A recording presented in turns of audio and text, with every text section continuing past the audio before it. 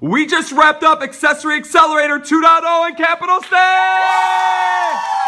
We got Lewis, Vanessa, and Patty in the house. Lewis, man, you've had smiles all day long since you've been here. What'd you think of Accelerator? Accelerator is great. I can't believe we made it this year, and I'm hope to see see you guys next year. Woo! I love it. Betty. next one is yours. Next question is this. What did you learn at Accelerator 2.0 that you're going to bring back to your store? Biggest thing I learned is how to be excited and also how to show my team versus just telling them how to do something. That is awesome. Awesome. Last question is yours. You've been to a lot of AT&T training programs. Some that you liked, some that you didn't like.